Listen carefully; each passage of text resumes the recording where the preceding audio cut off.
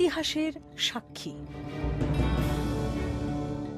উনিশশো চৌষট্টি সালের ফেব্রুয়ারি মাসে বিশ্ববিখ্যাত ব্রিটিশ পপ গ্রুপ বিটলস প্রথম আমেরিকা সফরে যায়।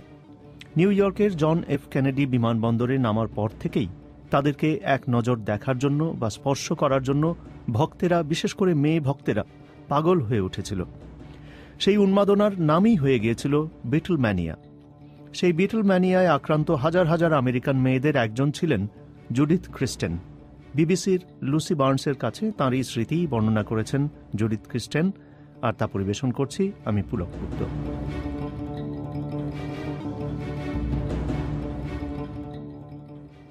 One, two.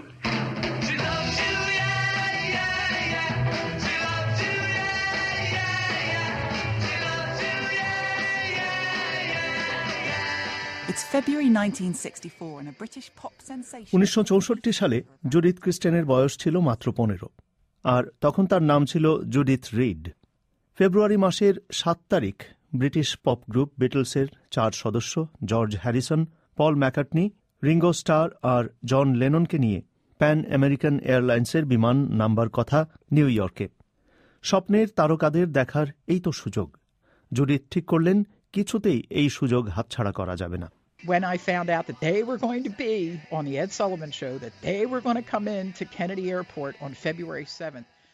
আমি যখনই জানতে পারলাম যে বিটলরা আমেরিকায় আসছে এবং সাত তারিখ কেনেডি বিমানবন্দরে নামবে আমি সাথে সাথে তার হাই স্কুলে সবার মুখে মুখে ছড়িয়ে দিলাম বন্ধুদের বললাম আমাদের স্কুল ফাঁকি দিয়ে হলেও বিমানবন্দরে যেতে হবে তখনও আমার বান্ধবীরা স্কুল ফাঁকি দেওয়ার কথা চিন্তাও করতে পারত না তারা বলল তাহলে বাবা মা আমাদের মেরেই ফেলবে। আমি বললাম তাতে কি হয়েছে? মেরে যদি ফেলেও সেটা তো ঘটবে আমরা বিমানবন্দরে গিয়ে বিটলসদের দেখে আসার পরে। তাই আমাদের যেতেই হবে। So we had about 26 girls who were going to go to the airport. শেষ পর্যন্ত জানুয়ারির মাঝামাঝি নাগাদ আমাদের ২৬ জনের একটি দল তৈরি হলো যারা বিমানবন্দরে যেতে রাজি হলো। কিন্তু জানুয়ারির তৃতীয় সপ্তাহে সে সংখ্যাটা নেমে এলো একুশে। আর মাসের শেষে আমাদের দল আরও ছোট হয়ে গেল মাত্র পনেরো ষোলো জনের। ফেব্রুয়ারির ছ তারিখের দিকে দেখা গেল দলে আছে মাত্র তিনজন আমি আর আমার দুই বান্ধবী। আর সাত তারিখে সকালবেলা? আর কেউই যাচ্ছে না শুধু আমি একা। কিন্তু আমি ঠিক করলাম যেভাবেই হোক আমি কেনেডি বিমানবন্দরে যাবই। আর কেউ না গেলে আমি একাই যাব। শেষ পর্যন্ত তাই হল। জুডিথ একাই রওনা দিলেন।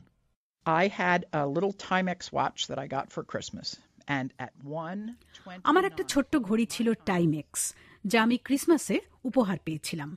সেই ঘড়ির সময় অনুযায়ী বেলা একটা উনত্রিশ মিনিটে প্যান আমেরিকান বিমান বিটলসদের নিয়ে বিমানবন্দরে নামল।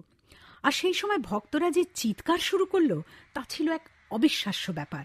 বলা বাহুল্য তার মধ্যে আমার গলাও ছিল। From that crowd was unbelievable, and my voice was among them.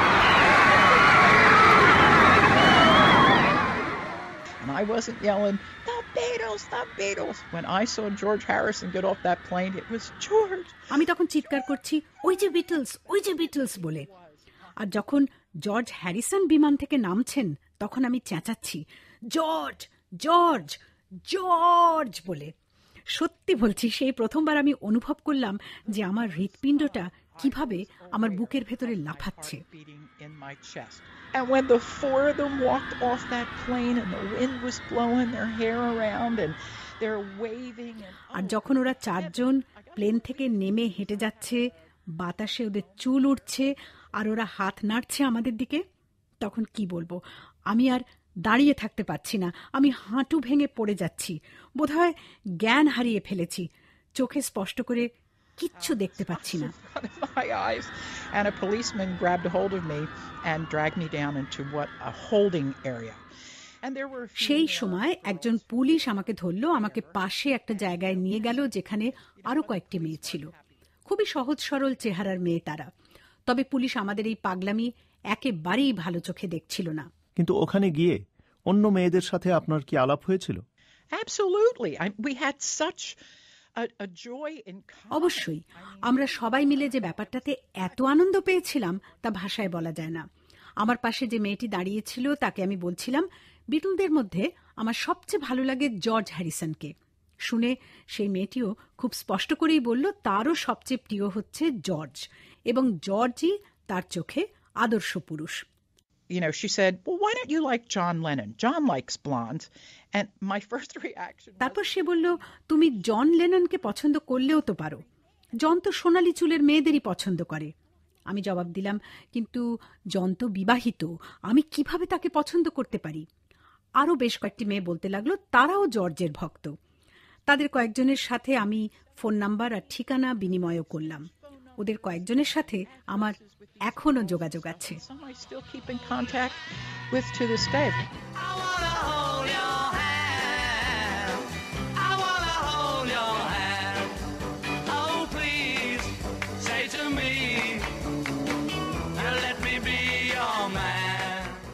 কিন্তু এই যে পাগলা পাগলামি এর কারণ কি? ঠিক কি চাইছিলেন জুডি? তিনি কি ভাবছিলেন যে জর্জ হ্যারিসন তার চিৎকার শুনিয়ে এগিয়ে এসে বলবেন হ্যাঁ জুডিত তুমি আমার সাথে চলো। Well, you know, at 15, of course you do. You know what I mean? হ্যাঁ সেই পনেরো বছর বয়সে আপনি হয়তো এটাই চাইবেন হয়তো আমার মাথার মধ্যে এসবই ঘুরছিল যে জর্জ আমার দিকে তাকালেই আমার প্রেমে পড়ে যাবে সেই ডিজনির রূপকথার গল্পের মতো The Beatles headed for the Plaza Hotel in central New York. বিমানবন্দর থেকে বিটলসের চার তারকা নিউ ইয়র্কের কেন্দ্রস্থলে প্লাজা হোটেলে গেলেন আর তাদের পেছন পেছন জুডিথ এবং আরও হাজার হাজার ভক্ত সেখানে গিয়ে হাজির হল। জুডিথ একেবারে জনতার ভিড়ের সামনে গিয়ে দাঁড়ালেন আর ঘটনাচক্রে তার পাশেই দাঁড়ানো ছিলেন একজন খুবই বন্ধুসুলভ পুলিশ।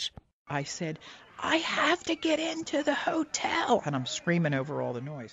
শত শত ভক্তের শোরগোলের মধ্যেই আমি চেঁচিয়ে সেই পুলিশটিকে বললাম আমাকে হোটেলের ভেতরে যেতেই হবে। পুলিশটি আমার আরেকটু কাছে এগিয়ে এলেন। আমি বললাম হোটেলের মধ্যে আমার আন্টি আছেন, আমাকে ভেতরে যেতেই হবে। পুলিশটি আমার দিকে তাকিয়ে বললেন, সুইটহার্ট, এখানে যত মেয়ে আছে, তাদের সবারই একজন করে আত্মীয় আজকে ওই হোটেলের ভেতরে আছে। আমি বললাম, কিন্তু ওরা মিথ্যে বলছে। পুলিশ বলল, আর তুমি বুঝি মিথ্যে বলছো না?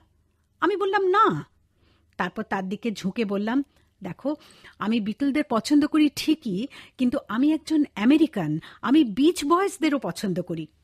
তার পর মুহূর্তেই আমি ব্যারিকেডের নিচ দিয়ে ওপাশে চলে গেলাম। একেবারে পুলিশের পাহারায় প্লাজা হোটেলের ভেতরে ঢুকে গেলাম. ওই হোটেলে এত ভিড় বোধহয় কখনো হয়নি। তবে আমি জানতাম আমি কি দেখতে চাই। দরজা খুলে গেল। আর আমি আনন্দে আর উত্তেজনায় বিশ্বাসই করতে পারছিলাম না যে কি ঘটছে। মনে মনে বলছিলাম আর মাত্র পাঁচ ফিট যেতে পারলেই হয়। বেল বয়ের পেছনের ঘরটাতে ঢুকেই আমি দেখতে পেলাম জন লেননকে।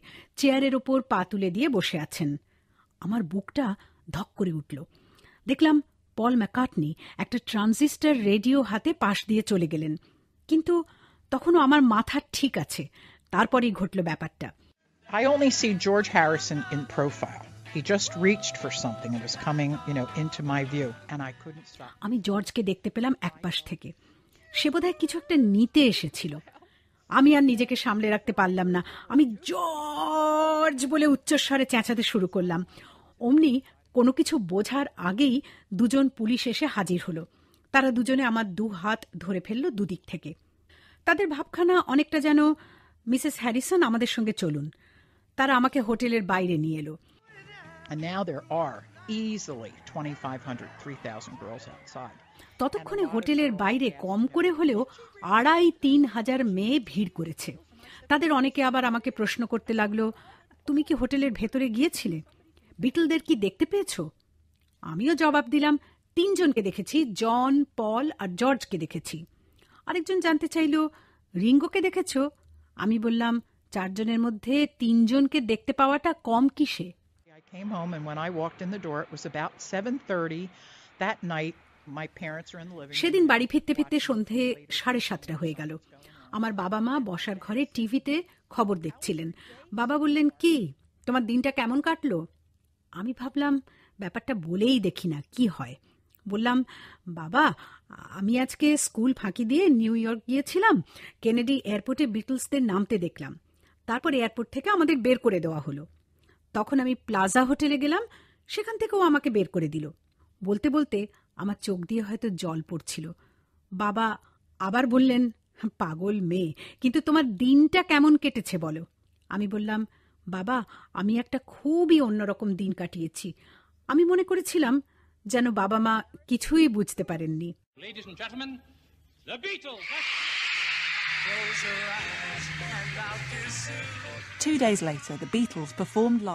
দুদিন পর বিটলসের একটি লাইভ অনুষ্ঠান হল এড সুলিভান শোতে যা দেখেছিলেন আমেরিকার সাত কোটিরও বেশি লোক।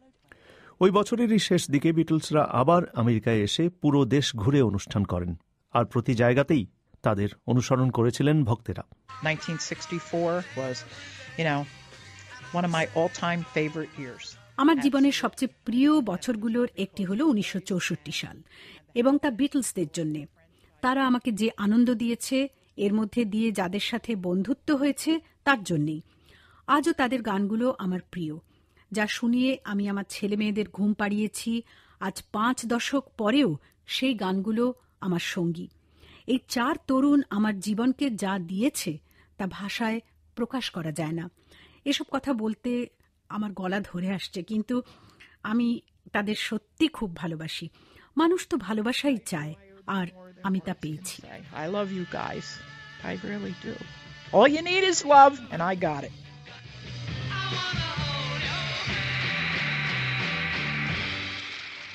বিটলসরা তাদের শেষ লাইভ অনুষ্ঠানটি করেন উনিশশো ছেষট্টি সালে লাইভ অনুষ্ঠান আর না করার একটা কারণ ছিল যে ভক্তদের চিৎকারে তারা নিজেরাই কি গাইছেন বা কি বাজাচ্ছেন, তা শোনা অসম্ভব হয়ে গিয়েছিল। বিটলস গ্রুপ ভেঙে যায় উনিশশো সত্তর সালে। আর জুডিথ খ্রিস্টেন এখন নিউজার্সিতে শিক্ষকতা আর লেখালেখি করেন। তার একটি বইও আছে এই বিটলম্যানিয়া নিয়েই, যার নাম a date with the Beatles